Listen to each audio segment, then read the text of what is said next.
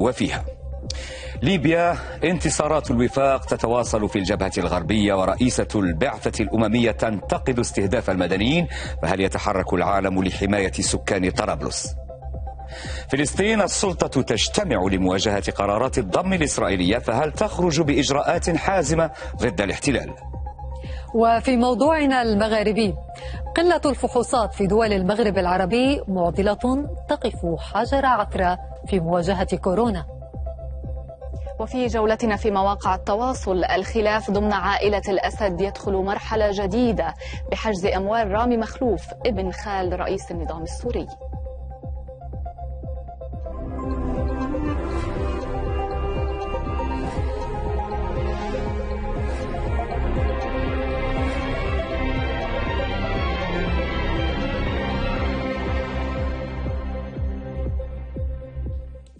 أهلا بكم. اتهمت رئيسة بعثة الأمم المتحدة للدعم في ليبيا ستيفاني ويليامز قوات اللواء الليبي خليفة حفتر باستهداف المدنيين والبنى التحتية في هجماته على العاصمة طرابلس. وفي إحاطة إلى مجلس الأمن الدولي قالت ويليامز إن التدخلات الأجنبية في الصراع الليبي في ازدياد مشيرة إلى أن المنظمة الدولية لن تتوقف عن المطالبة بالانخراط في حوار سياسي حتى تتوصل إلى وقف لإطلاق النار. أعتقد أننا قد وصلنا إلى منعطف خطير في الصراع الليبي في ظل تدفق الأسلحة والمرتزقة للجانبين نتائج الصراع ستكون مدمرة وستزداد رقعة الصراع إذا تواصلت التدخلات الأجنبية. ويجب أن لا ندع ليبيا تنزلق لما هو أسوأ. تحقيق ذلك لا يكون إلا بالعمل السياسي وعمل المجتمع الدولي بشكل جماعي. من جانب آخر اتهم المندوب الليبي في الأمم المتحدة طاهر السني عددا من الدول منها الإمارات بانتهاك حظر توريد السلاح إلى ليبيا والمساهمة في قتل المدنيين.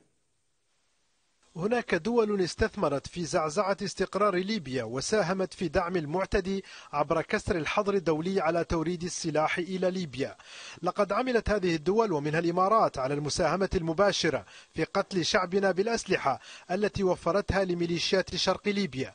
وهنا أريد أن أسأل هذه الدول كيف ستجيب شعوبها عندما تسأل عن السر في وجودها ضمن القائمة الدولية لحظر تصدير السلاح إلى ليبيا. هذا الحظر الذي الذي لم يشمل سوى الحكومة الشرعية الوحيدة التي يعترف بها المجتمع الدولي. أما المندوب الروسي فقد تحفظ في كلمته خلال جلسة مجلس الأمن الدولي الخاصة بتطورات الأوضاع في ليبيا على المزاعم بضلوع روسي في الصراع الليبي وأضاف أن بلاده تعمل على الدفع بالأطراف الليبية إلى الحوار والعودة إلى العملية السياسية مشيرا إلى أن قرارات مجلس الأمن لن تنجح طالما لم تحظى أولا بتوافق الليبيين. نحن نعتقد بأن تزويد الأسلحة والمرتزقة إلى ليبيا يجب أن يتوقف لطرفي الصراع. فكما تعلمون لقد لحق الدمار ودمرت الدولة الدولة الليبية بسبب التدخلات الخارجية.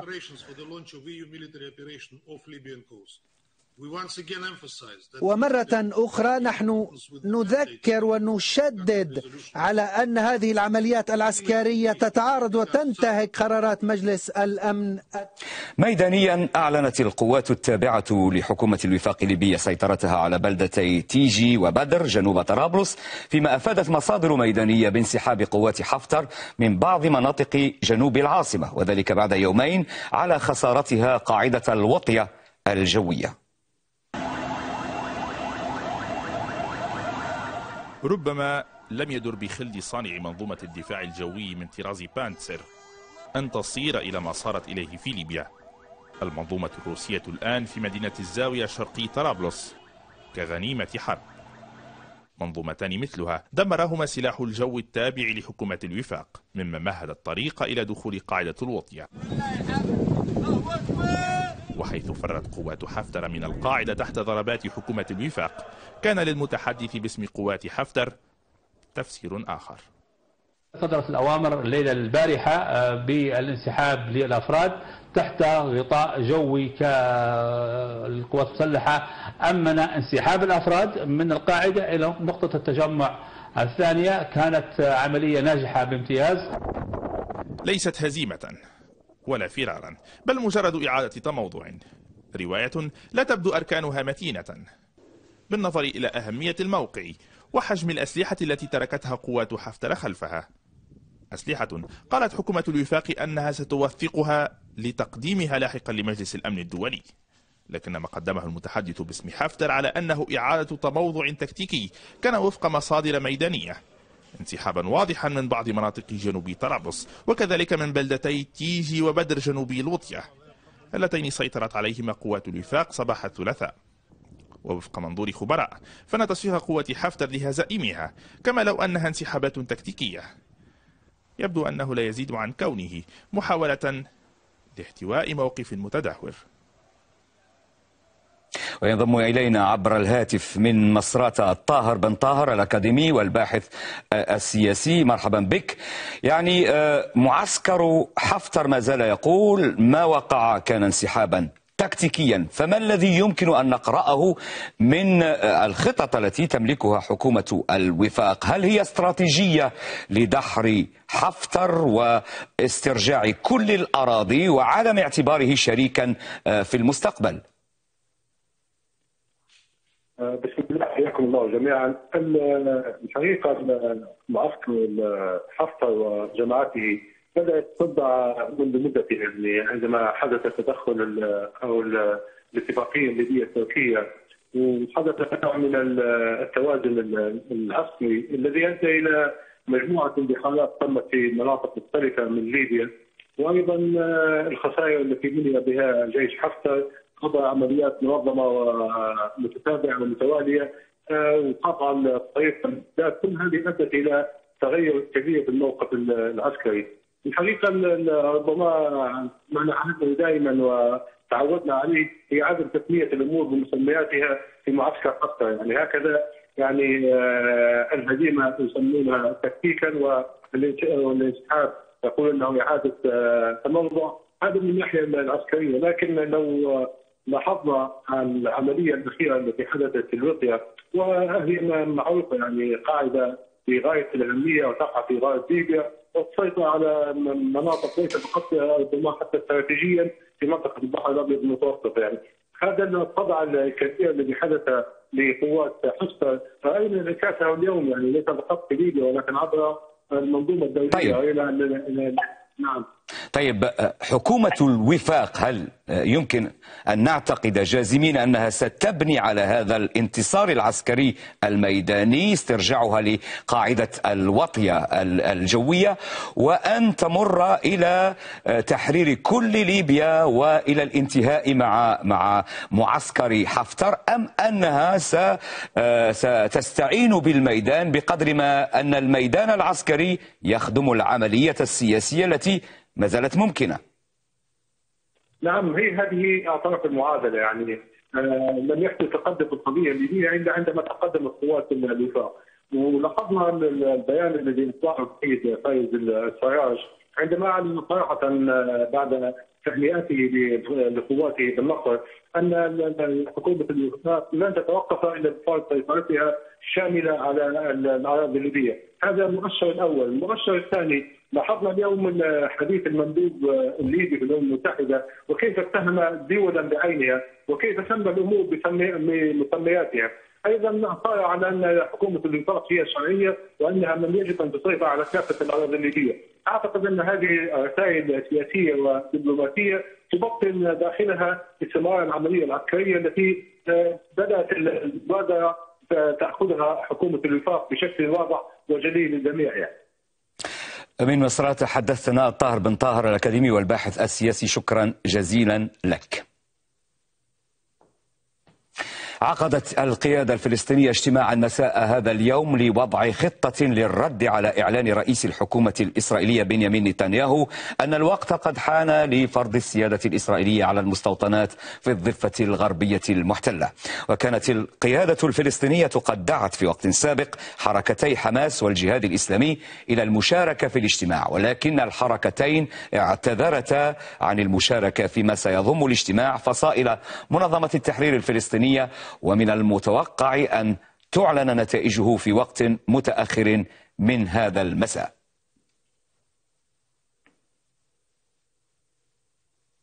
ننتقل بكم الآن إلى هذه الكلمة المباشرة للرئيس الفلسطيني محمود عباس من رام الله الترحيل القسري لمواطني الأرض المحتلة كما وتحظر نقل سكان دولة الاحتلال المستعمرين إلى الأرض التي تحتلها وجميعها تشكل انتهاكات جسيمة وجرائم حرب. ثالثا نحمل الإدارة الأمريكية المسؤولية كاملة عن الظلم الواقع على الشعب الفلسطيني ونعتبرها شريكا أساسا ورئيسا مع حكومة الاحتلال الإسرائيلية في جميع القرارات والإجراءات العدوانية المجحفة بحقوق شعبنا. ومع ذلك حتى نكون واقعيين ومع ذلك فإننا نرحب بكل مواقف الأطراف الأمريكية الأخرى الرافضة لسياسات هذه الإدارة المعادية لشعبنا وحقوقه المشروعة. سمعنا أكثر من موقف بين الرجالات الأمريكية من الكونغرس إلى غيره يرفضون هذه السياسة. نحن نميز نحن مش ضد أمريكا كشعب نحن ضد أمريكا الاستعمارية أمريكا الإدارة أمريكا الاستيطانية أمريكا المعادية لشعب للشعب الفلسطيني ولشعوب الأرض. بس من من كان أمريكيا أو يحمل الجنسية الأمريكية إحنا مش ضده. إحنا ضد الذي يقف ضدنا رابعا نقرر اليوم استكمال التوقيع على طلبات انضمام دولة فلسطين إلى المنظمات والمعاهدات الدولية التي لن ننضم إليها حتى الآن. هناك عدد من المنظمات أوقفنا الانضمام إليها كاتفاق والآن نحن في حل من الاتفاق وقعنا بعضها أمس. خلاص. خامسا نجدد التزامنا بالشرعية الدولية وبالقرارات العربية والإسلامية والإقليمية ذات الصلة والتي نحن جزء منها كما نجدد التزامنا الثابت بمكافحة الإرهاب العالمي. نحن ضد الإرهاب العالمي نحن ضد الإرهاب العالمي. أيا كان شكله أو مصدره. سادسا نؤكد مجددا التزامنا مش رفضنا وما خلاص لا التزامنا بحل الصراع الفلسطيني. الإسرائيلي على أساس حل الدولتين. مع استعدادنا استعدادنا للقبول بتواجد طرف ثالث على الحدود بينهما بيننا وبين إسرائيل على أن تجري المفاوضات لتحقيق ذلك تحت رعاية دولية متعددة الرباعية الدولية أو الرباعية زائد. أمريكا وحدها لا. لن نقبل بأمريكا.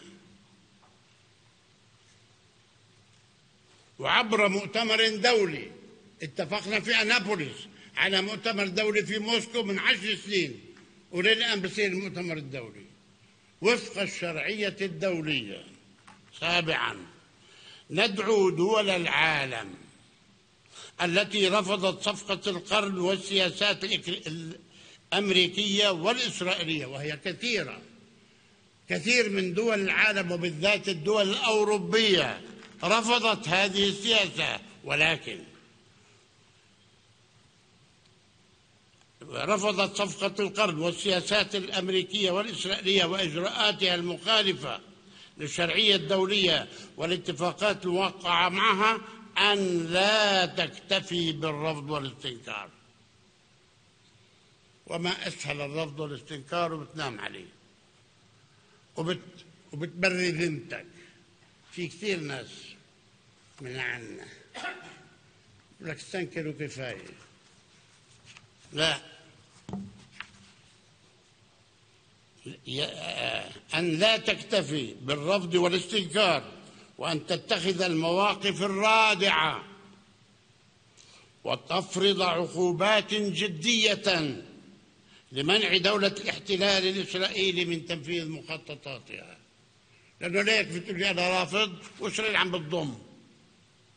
هذا شرعي مش شرعي ما بكفي تقول بالشرعي. هذا بالشرعي وأنت مجرم. ويفرض عليك عقوبة. هيك بصير وهذا ما نطالب به كل دول العالم التي نشكرها على موقفها الرافض ولكن لا نكتفي بالرفض. ونطلب ونطالب من لم يعترف بدولة فلسطين منها من هذه الدول حتى الآن الإسراع بالاعتراف بها لحماية السلام والشرعية الدولية والقانون الدولي ولإنفاذ قرارات مجلس الأمن الخاصة بتوفير الحماية الدولية لشعبنا في دولته المحتلة. في ناس بيقولوا نحن ما بنقدرش نعترف أنه هذا قرار منفرد. أنت معترف بدولة إسرائيل؟ نعم. وينضم إلينا من رام الله الكاتب والباحث السياسي جهاد حرب مرحبا بك. يعني كلمة الرئيس محمود عباس أعادت التذكير بثوابت السلطة الفلسطينية وفيها التنديد بما يحدث بصفقة القرن ولكن هذه آه، آه، هذه المقاربة نعرف أنها تحافظ على الشريك الدولي الذي يدعم حل الدولتين رغم أن هذا الحل لم يعد قابلا للحياة بدليل سلوكات الحكومة الإسرائيلية. الآن هل مثل هذا الخطاب يمكن أن يقنع الشركاء الفلسطينيين الآخرين خاصة هؤلاء الذين لم يحضروا هذا الاجتماع الذي عقد اليوم؟ يعني ما سمعناه حتى الآن من هذا الخطاب هو تكرار لخطابات الرئيس آه، خلال السنوات الماضية. وربما الجديد هو التوقيع على مجموعة من الاتفاقيات التي كانت هناك اتفاقا مع الإدارة الأمريكية بعدم التوقيع عليها خلال الفترة الماضية. وبالتالي الفعل الرئيسي الوحيد هو التوقيع على الاتفاقيات كما فعلت السلطة الفلسطينية. أما بقية الخطاب على حديتها فهي آه، ضمن البرنامج المتوقع للفلسطينيين لمواجهة آه، خطة ترامب هل سيقنع الأطراف الأخرى؟ لا أعتقد ذلك لأنهم يطالبون بشيء أكبر من ذلك. يطالبون بإنهاء العلاقة مع إسرائيل ويطالبون بحل السلطة الفلسطينية والانضمام إلى برنامج حركة حماس أو الجهاد الإسلامي. ولا أعتقد أن منظمة التحرير الفلسطينية ستذهب إلى ذلك. برنامج منظمة التحرير الفلسطينية هي خيار حل الدولتين وفقا لقرارات الشرعية الدولية والقانون الدولي وهي تحارب في المجالين السياسي والدبلوماسي وكذلك إلى المجال المتعلق طيب. بالقضائي آه، من خلال محكمة الجنايات الدولية وهذا ما جاء في البند الثاني من خطاب الرئيس باعتبار الضم هي جريمة حرب ينص عليها القانون الدولي واتفاقية روما آه، ميثاق روما الذي يعد مؤسس لمحكمة الجنايات الدولية طيب عندما يقول في خطابه الرئيس عباس أن فتح في حل من الاتفاقات مع إسرائيل فهل هذا يعني السلطة؟ وأن السلطة هي فتح وفتح هي السلطة السلطة الفلسطينية هذا المساء بدون شركائها الفلسطينيين الكبار الآخرين وعلى رأسهم حماس. يعني طبعا حركة فتح هي ليست السلطة على الرغم من يعني تشابكها.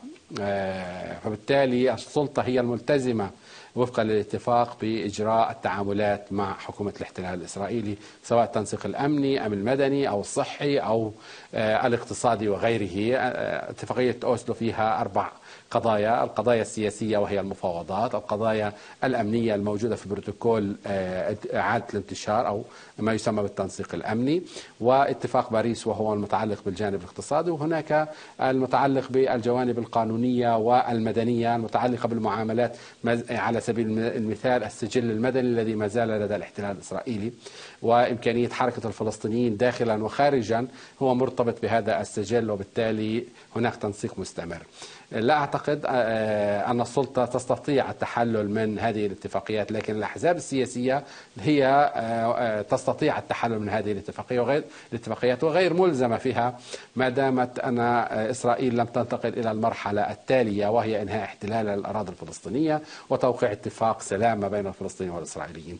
بالتالي في ظني أن الرئيس محمود عباس يحمل الأحزاب والفصائل مسؤولية النهوض بالعمل المقاوم آه، في مواجهة عملية الضم آه، والمقاومة الشعبية. طيب.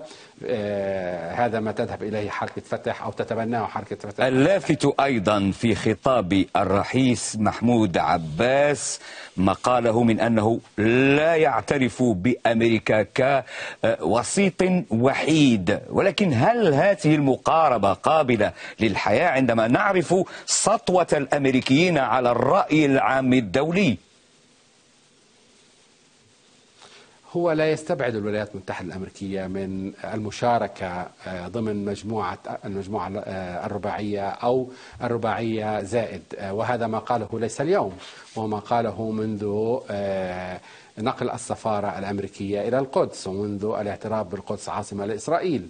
وهي يعني بمعنى آخر أن هذا الكلام مفهوم وأيضا ممارس منذ آه، فترة منذ عامين تقريبا والسلطة الفلسطينية لا توجد لديها علاقة مع الحكومة الأمريكية وكذلك هي تتخذ موقفا واضحا في هذا السياق وهي عدم آه، التعامل مع الإدارة الأمريكية وهناك تعاملات مع أعضاء في الكونغرس وخاصة الديمقراطيين ومؤسسات المجتمع المدني آه، وبالتالي الفكرة الرئيسية تفرد الولايات المتحدة الأمريكية لم يعد قابلا أن يكون هو آه، الأساس آه، تحتاج إلى الرباعية الدولية بما فيها نعم. الأمم المتحدة والاتحاد الأوروبي نعم. وروسيا نعم. بالإضافة إلى الولايات المتحدة الأمريكية لكن لا يستبعدها لأنه يدرك لا أحد من الفلسطينيين يستبعد الولايات المتحدة الأمريكية من المشاركة في عملية السلام أو في رعاية عملية السلام لأنهم يدركون حجم وقدرة الولايات المتحدة الأمريكية ونفوذها لدى الحكومة الإسرائيلية لكن نعم. لم يعد مقبولا الانحياز الكامل الذي مارسته خطته الإدارة الأمريكية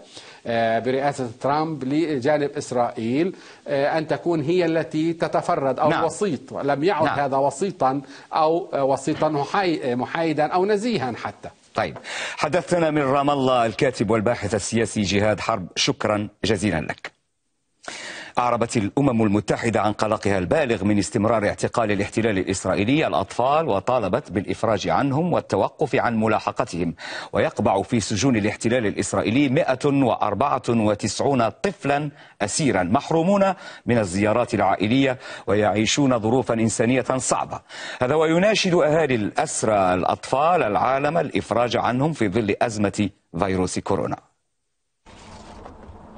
والد أصغر معتقل إداري في سجون الاحتلال الإسرائيلي لا يعرف عن حال ابنه شيئا في سجن الدامون. بلغ سليمان قطش السابعة عشر داخل المعتقل لا تهمة لديه وملفه سري. عائلته حرمت من زيارته ومن حضور محاكماته. إحنا إحنا كاهل أهل سليمان ممنوعين من حضور المحكمة بصفة إنه كانوا يقولوا إنه المحكمة سرية. ممنوع من الاتصال بسليمان هو يتصل فينا نهائيا اتصل بس مرة واحدة من ست شهور. إحنا هاي الشهر السادس سليمان دخل في الم... وهو موجود في المعتقل الإداري في سجون الاحتلال. ما شفناه نهائيا ولم يصدر لنا تصريح لزيارة سليمان آه، المعتقل في سجن الدامون. مخيم الجلزون نقطة مواجهة مع مستوطنة بيت إيل. قوات الاحتلال تقف لأطفال المخيم بالمرصاد تعتقلهم وتنكل بهم. الطفل حسين زيد اعتقل وحكم بالسجن 22 شهرا أمضى نصفها. ومع أزمة فيروس كورونا منعت عائلته من زيارته. بحكي لك شعور يعني لا يوصف بس إنه ما فيش في إيدي إشي. فقدناه في العيد فقدناه لما يطلع يشتري أواعي فكت لما يحلك بكي يروع على الخمسة أي إشي. في المعتقلات يقبع 194 طفلا أسيرا موزعون على سجون عوفر ومجد والدامون تفيد المؤسسات الحقوقية أن إدارة السجون تحتجزهم في ظروف لا تتوفر فيها أدنى الشروط وفوق هذا تفرض عقوبات عليهم. 75% من الأطفال الفلسطينيين بتعرضوا للعنف الجسدي.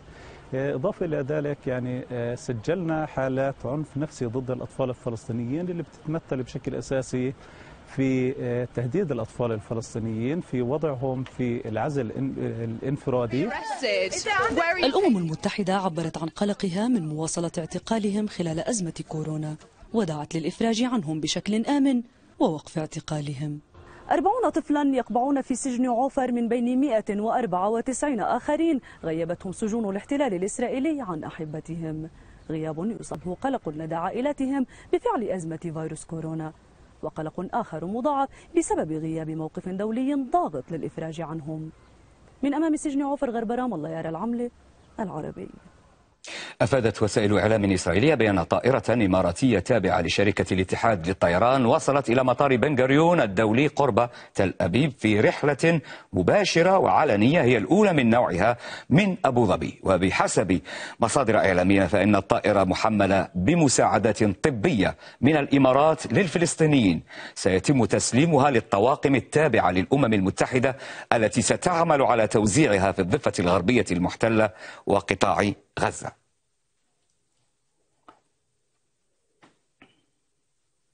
وننتقل إلى فقرة مواقع التواصل الاجتماعي والزميلة بدر والملف الليبي خاصة قصة الانسحاب التكتيكي لقوات حفتر. بالفعل وهذا أثار جدلا كبيرا على مواقع التواصل. شكرا كمال.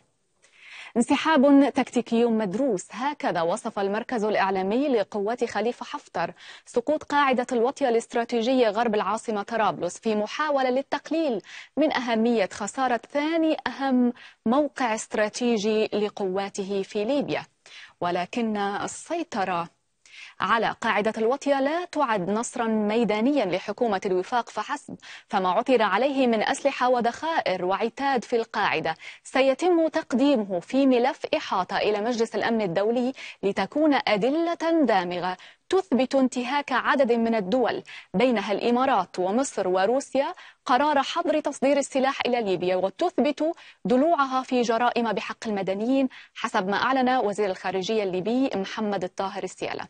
طاهر السني السفير الليبي إلى الأمم المتحدة قال في تغريدة بعد تحرير قاعدة الوطية الجوية ستكون لجنة العقوبات التابعة للأمم المتحدة مشغولة بالأسلحة التي وجدناها هناك.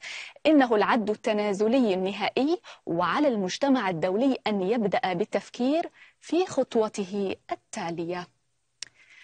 أيضا من جانبه أوضح المركز الإعلامي لعملية بركان الغضب التابعة للحكومة الليبية أن تعاون حكومة الوفاق العسكري مع الحكومة التركية العضو في حلف الناتو لا يخالف القانون الدولي وهو حق سيادي كما هو مفصل في ميثاق الأمم المتحدة. اتخاذ إجراءات قانونية بحق من تورطوا في ليبيا أثار تفاعلا على مواقع التواصل الاجتماعي.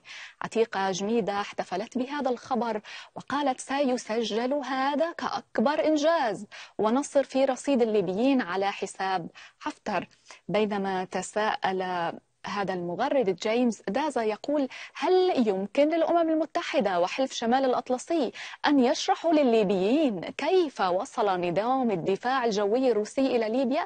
لا أعتقد أن الدول المتورطة تمتلك الشجاعة الكافية للاعتراف أما محمد الجراح بالرغم من التحركات الميدانية والدبلوماسية الحثيثة فإن هناك من يرى أن الخروج من المأزق سيكون صعبا يقول انسحاب قوات حفتر من خطوط الجبهة الأمامية في طرابلس ممكن عبر خيارين فقط. أن يقبل استحالة تفوقه العسكري على تركيا والداعمين الخارجيين لها وأن تستعد الدول الداعمة له لتصعيد كبير. أما أحمد القماطي من جهته فكتب قائلا ويرى أن الخروج من المأزق يكمن في قبول حفتر للهزيمة في غرب ليبيا وبتمسكه بمناطق في الجنوب والشرق في محاولة للبقاء كطرف فاعل في أي محادثات سلام مستقبلية. ويقول خطر التقسيم لا يزال ممكنا. نعود إليك كمال لاستكمال باقي الأخبار. شكرا بدر. شكرا.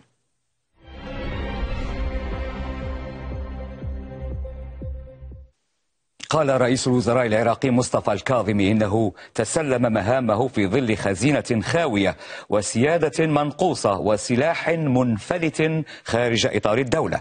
وأضاف الكاظمي في تصريح صحفي أنه وجد خزينة شبه خاوية عند استلامه إذ دعا الكتل السياسية في البرلمان إلى دعم الحكومة الجديدة بالتصويت على مرشحي الوزارات الشاغرة. ويعاني العراق مشكلات اقتصادية وسياسية وأمنية منذ الغزو الأمريكي للبلاد عام 2003 وظهور تنظيم الدولة. تظاهر عدد من الموظفين المعنيين في وزارة النفط العراقية أمام مبنى شركة نفط الجنوب في البصرة وذلك للمطالبة بتثبيتهم في وظائفهم ومنحهم الأوامر الإدارية للمباشرة وبالعمل في الشركات النفطية.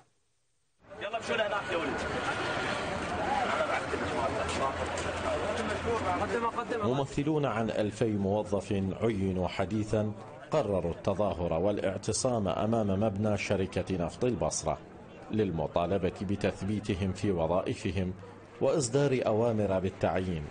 بعد تأخر إصدار أوامر إدارية لتعيينهم رغم حصولهم على أوامر وزارية.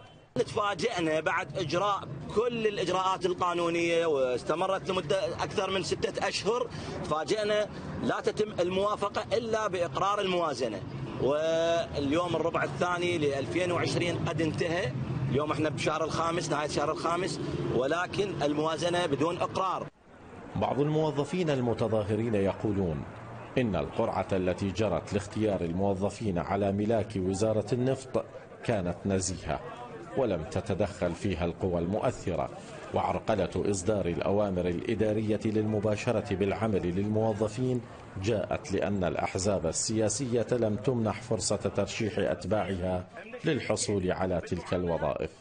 بس هي قرعة نزيهة طلعت الناس الفقراء الناس اللي ما عندها واسطات الناس اللي ما عندها أحزاب.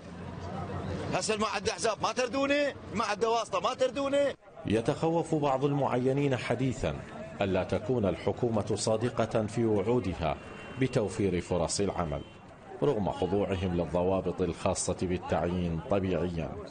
وجرينا كافة الإجراءات من فحص طبي من تصريح من تصريح اللي نقول وهمية ما أتصور وهمية. ولكن الأمر كما هنالك إنه المماطلة والمطاولة. الأمر يتعلق بين شركات البصرة وبين الوزارة.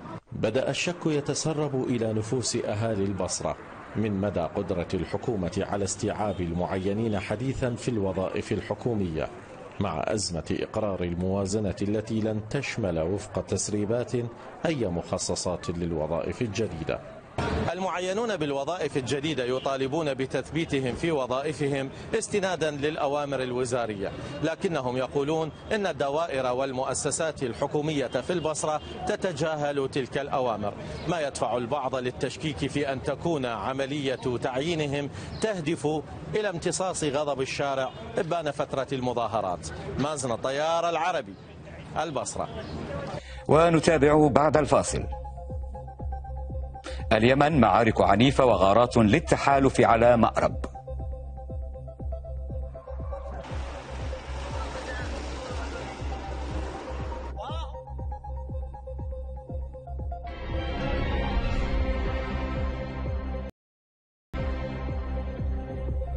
أهلا بكم من جديد وهذا تذكير بأبرز العناوين.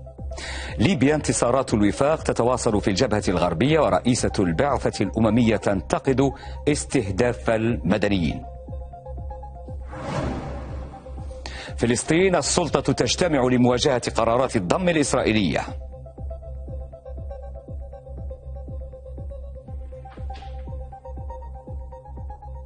والآن إلى فقرتنا المغاربية والزميلة فرح. شكرا كمال.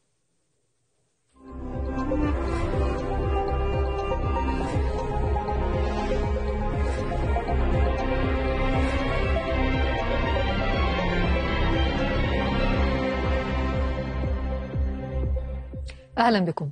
الإجراءات التي اتخذتها الدول المغاربية لمواجهة فيروس كورونا تبدو حتى الآن عاجزة عن كبح جماح الفيروس بالرغم من أن عدد الإصابات في البلدان المغاربية يبقى منخفضا مقارنة بالمشرق العربي. ويعزو خبراء الصحة عجز الدول المغاربية عن السيطرة على الوباء إلى قلة الفحوصات اليومية التي تجريها هذه الدول إذ لم تصل كل فحوصات البلدان المغاربية إلى النسب التي حددتها منظمة الصحة العالمية. بالرغم من تحذيرات منظمة الصحة العالمية أن فيروس كورونا قد يصيب نحو ربع مليار شخص في إفريقيا خلال عام حال عدم اتخاذ إجراءات عاجلة تحول دون ذلك. للفحوصات دور أساسي في منع الوباء وإبطاء تفشيه. فهل هي متوفرة وكافية في دول المغرب العربي؟ بحسب الإحصائيات فقد تصدر المغرب أعداد اختبارات الفيروس بإجراء أكثر من 100 ألف فحص. وجاءت تونس في المركز الثاني بما يتجاوز 41 ألف فحص. فيما لم تعلن الجزائر عن عدد الاختبارات المنجزة بينما سجلت بيانات غير رسمية فحوصات وصلت إلى 6500 فحص. وذلك بالرغم من تسجيلها أعلى معدل وفيات جراء الوباء في المغرب العربي وصلت إلى أكثر من 500 وفاة. وبحسب المعلومات التي نشرتها وزارة الصحة في البلدان فليبيا حلت في المركز الرابع بأكثر من 3600 فحص. أما موريتانيا بعدد فحوصات لم يتجاوز ال 2500 من مجمل عدد السكان. وتظل أعداد مراكز الفحص والتجهيزات الطبية لاستقبال المرضى قليلة بالمقارنة مع حجم الحاجة. والوعي الصحي والمجتمعي له دور أكبر. وينضم إلينا من الرباط الدكتور خالد فتحي أستاذ في كلية الطب بالرباط ورئيس قسم في مستشفى ابن سينا الجامعي. دكتور خالد في البداية ما هي الأسباب التي تقف وراء هذا النقص في أعداد الفحوصات في المغرب العربي مع الإشارة طبعا بأن هناك تفاوتا بين دولة وأخرى؟ هو في الحقيقة دول المغرب العربي اختارت الفحص الموجه وهو اختيار لم يأتي من فراغ وإنما كان اختيارا عقلانيا ومدروسا ويراعي سياق الوباء كل الدول المغاربية إذا ما انتبهنا هي توجد في المرحلة الأولى أو المرحلة الثانية من الوباء. وفي هذه الحالة يجب اختبار فقط الحالات يعني المحتملة والمخالطين لمنع تفشي الوباء والاختبار الموجه يكفي.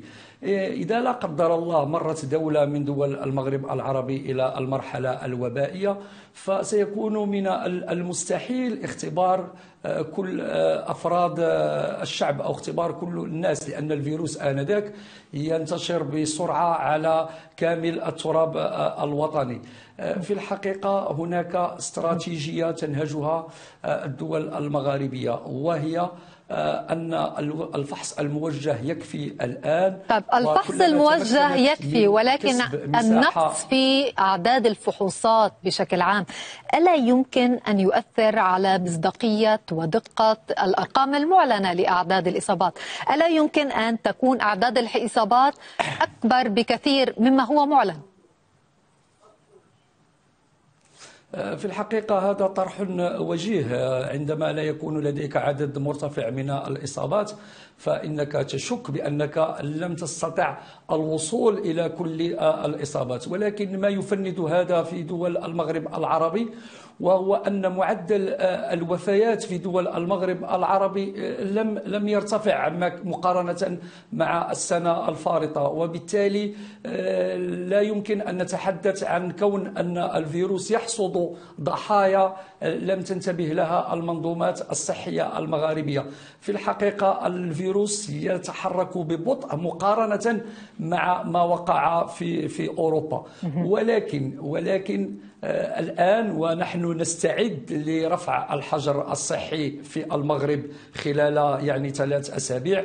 وهناك تونس التي دخلت ما سمته بالحجر الصحي الموجه.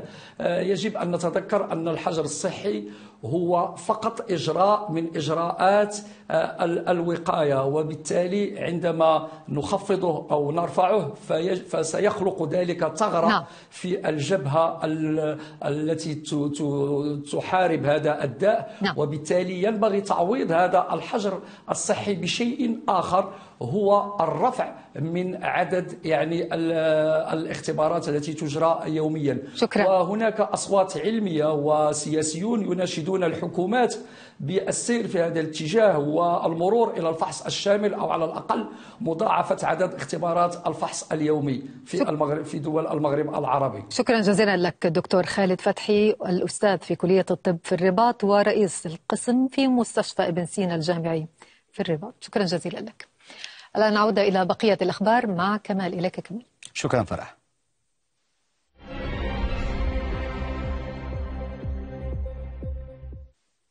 إلى اليمن حيث شنت طائرات التحالف عددا من الغارات الجوية على مواقع للحوثيين وقال مراسل العربي أن الغارات تركزت على صراوح ومجزر في محافظة مأرب شرق البلاد. وخب والشعف بالجوف شمال شرق اليمن وعبس وحرض في محافظة حجة إلى الشمال الغربي بالإضافة إلى الظاهر وكتاف في صعدة شمال البلاد. من ناحية أخرى أعلن المركز الإعلامي للقوات الحكومية اليمنية السيطرة على مواقع عسكرية استراتيجية في مديرية نهم شرق العاصمة صنعاء ومقتل عشرين من مسلحي الحوثي. في ظل شح الكمامات الصحية في اليمن وارتفاع أسعارها ارتفاعا كبيرا برزت مبادرة لتصنيع الكمامات وتوزيعها على الفقراء في العاصمة صنعاء فيما وفر المشروع فرص عمل للعديد من النساء العاطلات عن العمل. لا وقت للتوقف هنا. فوباء كورونا بدأ ينتشر في اليمن ومعه ازدادت الحاجة إلى الكمامات والأقنعة التي بالكاد تتوفر لليمنيين. الإعلامية السابقة سلوى ساري أسست على نفقتها الخاصة مصنع الكمامات هذا. تفشي الوباء والحاجة الماسة للوقاية منه دفعها إلى هذه المبادرة. الدافع هو كثرة الطلب على مواد الوقاية في السوق وعدم توفرها. وحتى إن توفرت تتوفر بأسعار مضاعفة. آه، بالذات بعض المواد مش متوفرة خالص عندنا في اليمن زي هذا المنتج اللي منتجه داخل المعمل الآن اللي هو الفيس شيلد لم يتوفر من قبل. آه، إنما إحنا قمنا بتصميمه هنا في الداخل وبننتج الآن بكميات كبيرة يوصل إنتاجنا في اليوم الواحد ل ألف آه، قناع. المعمل يوفر فرص عمل لأكثر من ثلاثين أسرة. النساء هن الأكثر حظا في ذلك. هذا المرض. آه، وقف الأعمال. جميعها توقفت. إحنا بدأنا نشتغل ونوفر ونعيل أسر في هذا المشروع. أنتجنا كمامات وأقنعة وألبسة ضد هذا المرض. تجوب سلوى بكماماتها بعض أحياء صنعاء. أكثر من ألفي كمامة وزعتها على الفقراء فهم الشريحة الأكثر ضعفا أمام الوباء. إحنا نشكر الأستاذة سلوى على المبادرة هذه في الكمامات بحيث والفيروس هذا كورونا مستمر يعني ومنشور. وعلى الرغم من هذه المبادرة وغيرها في نشر الوعي حول الوباء ووسائل الوقاية منه إلا أن غالبية اليمنيين ما زالوا يعتبرون استخدام الكمامات كوسيلة وقاية رفاهية لا جدوى منها.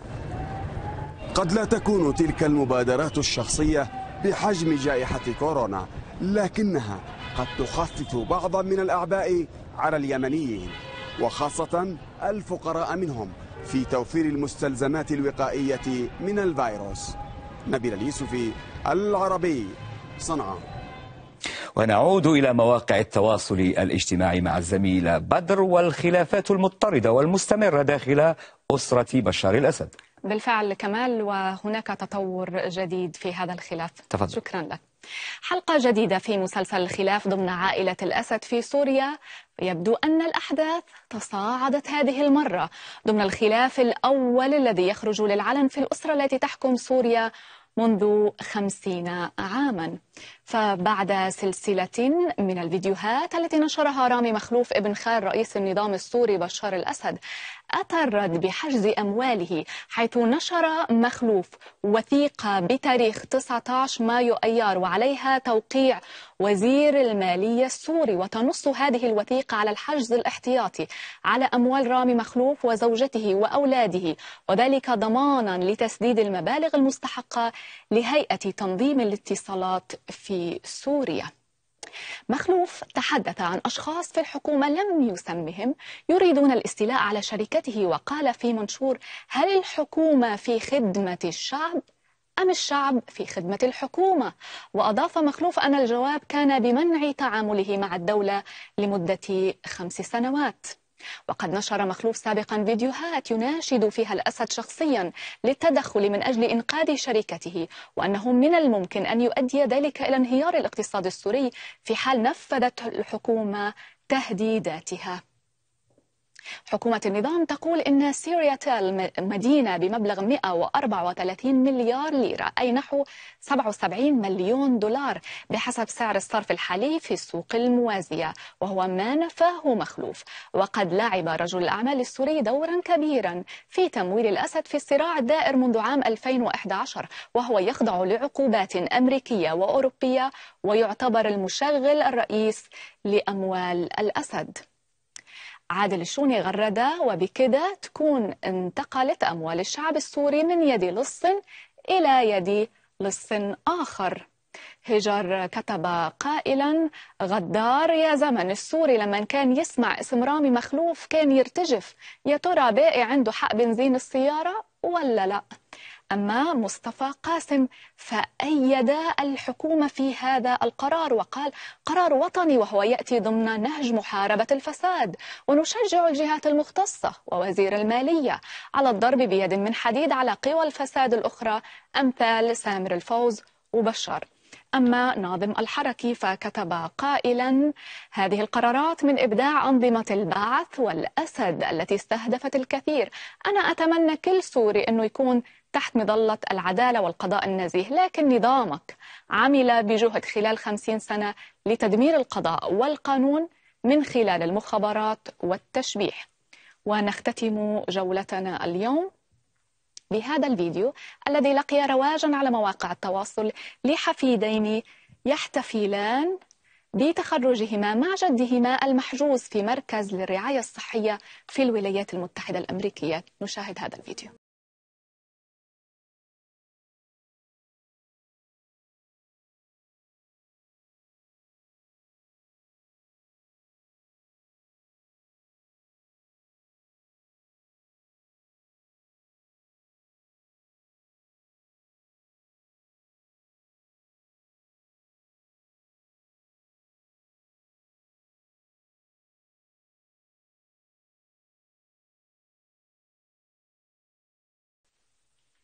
نعود إليك كمال فيديو مؤثر بالفعل.